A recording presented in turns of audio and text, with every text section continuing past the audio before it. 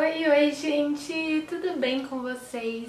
Bom, esse é o primeiro vídeo do canal desse ano, então eu vim aqui desejar pra vocês um feliz ano novo, feliz 2020, que esse ano seja repleto de muitas realizações, muitas conquistas, muitos sonhos e que tudo dê certo pra todo mundo, tudo que a gente quer realizar, que a gente tem nossas metas. E o vídeo de hoje é sobre isso, sobre metas. Então, Continue aqui nesse vídeo pra gente bater um papo bem legal e vocês verem as metas que eu consegui alcançar em 2019. Então, nesse vídeo eu vim falar um pouquinho pra vocês sobre por que ter metas.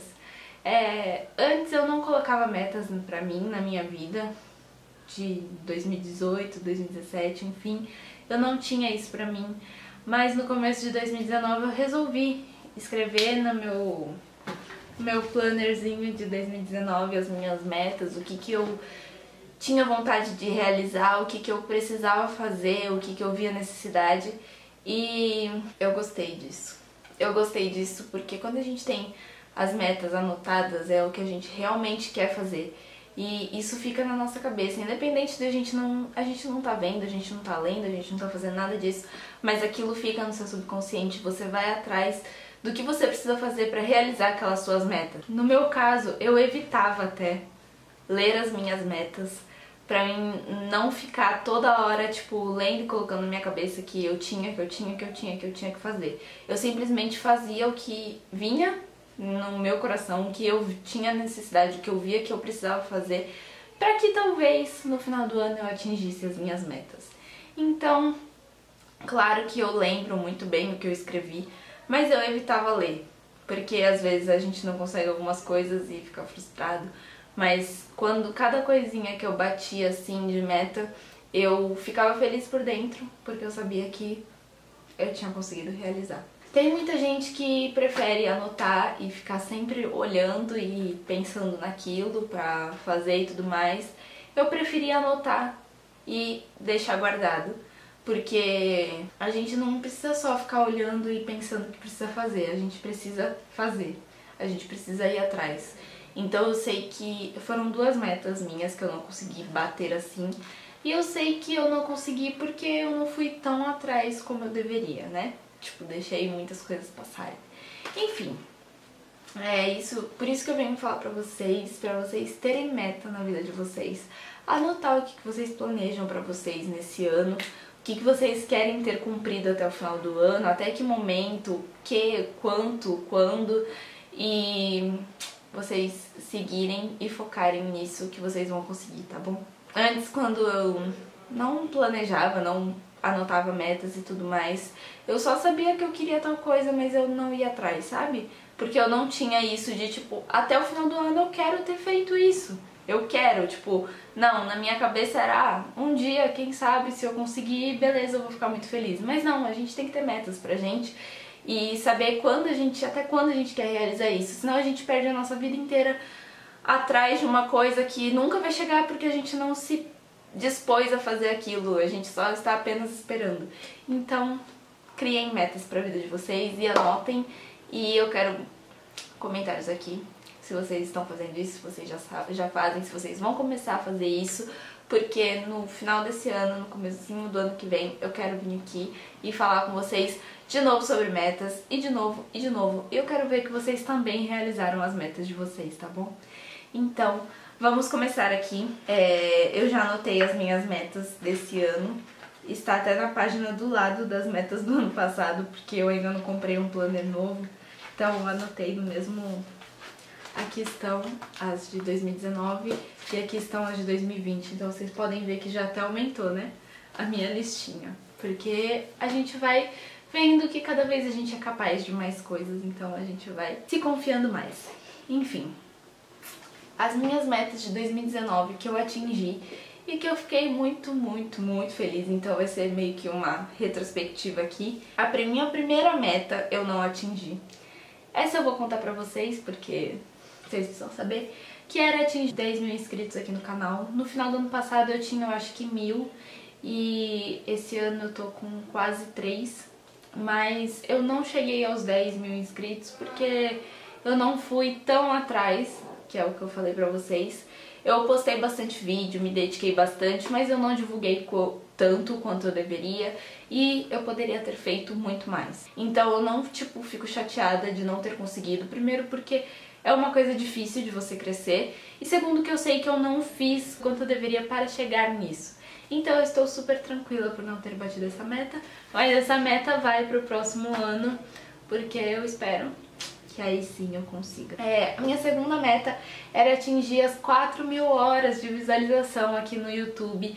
Pra quem não sabe, todos os canais para serem monetizados e começar a ter propaganda tem que passar agora 4 mil horas de visualização, que isso é muita coisa, gente, demora demais. Então eu consegui atingir em, no finalzinho de outubro, quase no final do ano, mas é que é algo muito difícil. No final do ano passado eu tinha só 300 horas e são 4 mil.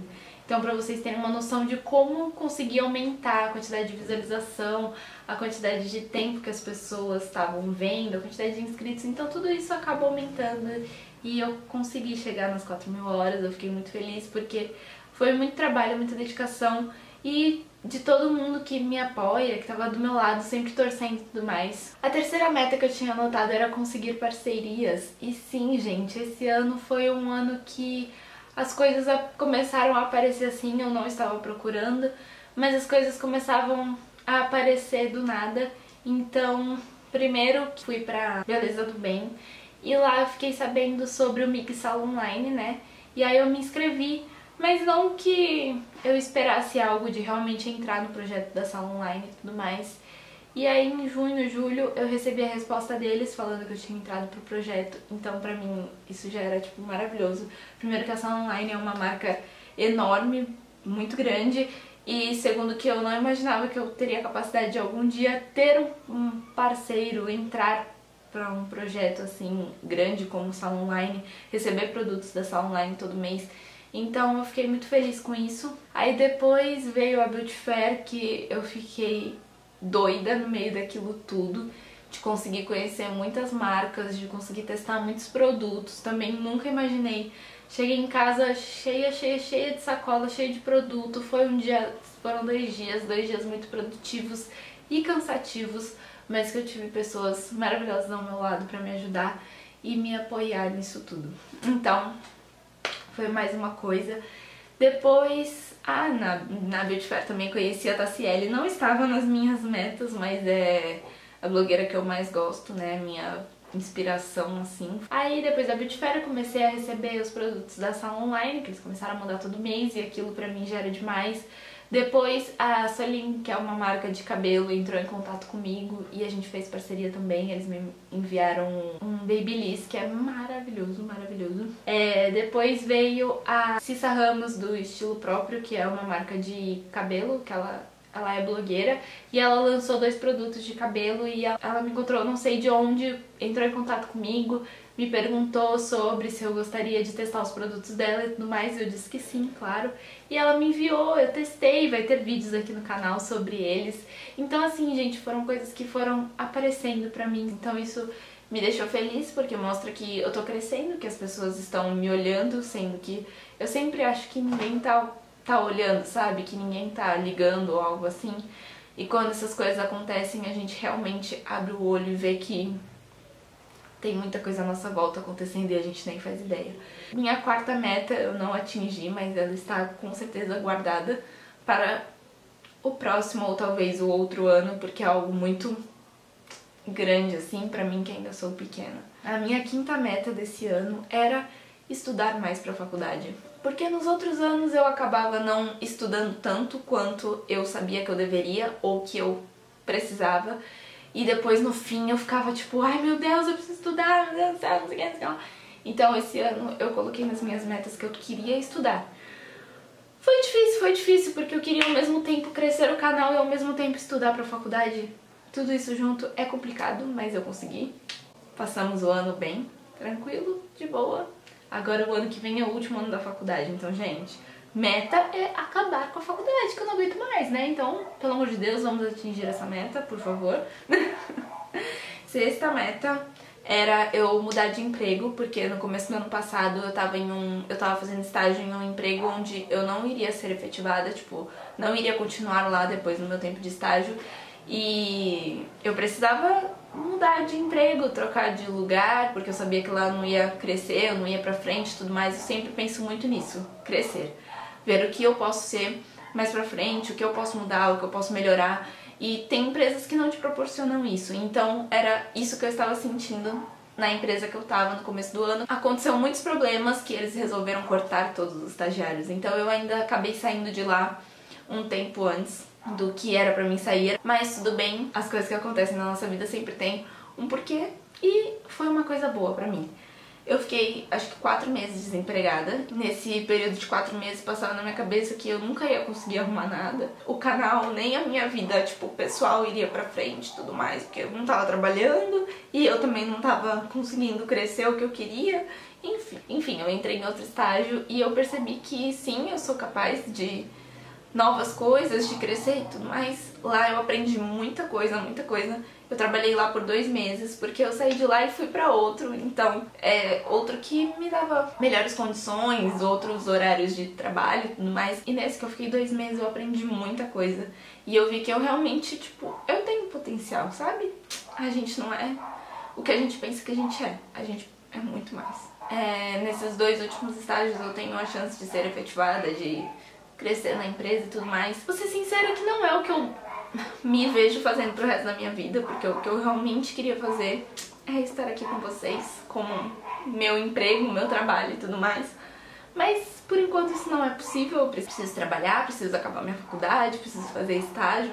Então tem muita coisa rolando por fora daqui. E é isso que eu queria mostrar pra vocês, pra vocês sempre confiarem em vocês e manter aquela meta sempre viva dentro de vocês, que uma hora vai acontecer, tá bom? As minhas últimas duas metas eram metas fáceis. Não fáceis, que era ser feliz. Porque a gente precisa ser feliz, independente da situação, a gente tem que sempre ver o lado bom. E o outro era passear, tipo, passear não tipo, meu Deus, ir para fora do Brasil, não.